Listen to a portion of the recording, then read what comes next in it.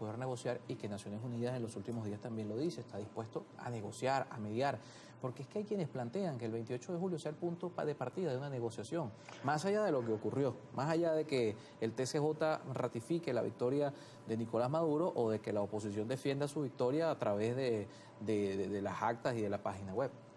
Sí, mira, lamentablemente yo no creo que aquí la mediación internacional va, va a tener eh, ningún éxito. Ya las declaraciones del presidente Maduro lo señalaron claramente. Él rechazó prácticamente tanto las acciones de Lula como las acciones de Petro. López Obrador se dio cuenta a, tiempo de la situación y eh, simplemente se retiró para esperar. López Obrador se dio cuenta y se retira para esperar. Los otros dos mantuvieron su posición y simplemente Maduro los descartó. Tanto así que terminaron, tuvieron que terminar apoyando la resolución de la OEA. No tenían, no tenían otra, otra actitud que tomar. Entonces, eh, el gobierno no está dispuesto a echar para atrás, no está dispuesto. El gobierno va a seguir por esta vía y cree, tiene la, convicción de que él podrá mantener a la sociedad venezolana totalmente amordazada, totalmente controlada por la vía de la represión. En la represión generalizada esta que se ha, que se ha subido hasta ahora con las manifestaciones, etcétera, y la represión más fina que ya viene incluso porque algunos personeros del gobierno, sobre todo estos televisivos, eh, ya han señalado, ahorita viene la cacería de brujas, vamos a buscar a los culpables. ¿Y quiénes son los culpables? Quienes no votaron por Maduro, quienes votaban por el presidente y ahora no votaron.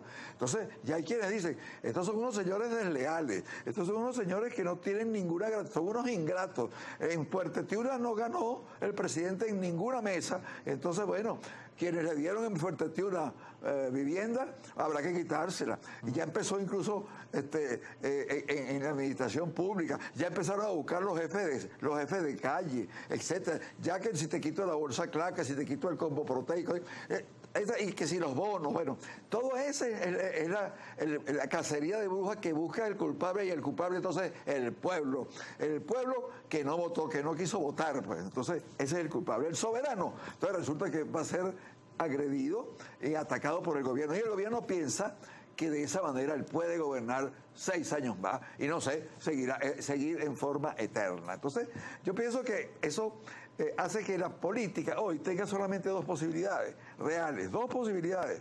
Una, esa, se desarrolla una situación de ese tipo y esto va simplemente hacia una dictadura y punto donde no, no, habrá derechos, no habrá nada, no, habrá elecciones, a lo mejor no sabe, o mantendrán un mascarón de elecciones. Esa es una posibilidad.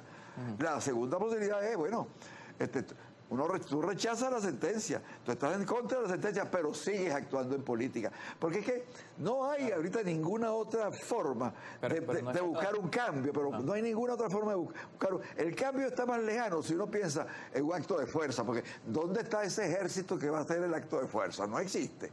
Entonces, este no es el año 50, el año 59, 60, en donde el Partido Comunista y el MIR, bueno, decidieron que no podía por la vía electoral, ¿verdad? Entonces, iba por la vía armada y se fueron al monte y armaron y enfrentaron eh, con la guerrilla al gobierno, que duró más o menos dos años realmente, porque en dos años ya estaban, ya estaban derrotados. No, este no es ese caso. Aquí no hay eso. Aquí no existe esa posibilidad. Ni la oposición tiene la posibilidad de organizarlo. Entonces, este, por allí no es la vía. Entonces, ¿cuál es la única vía?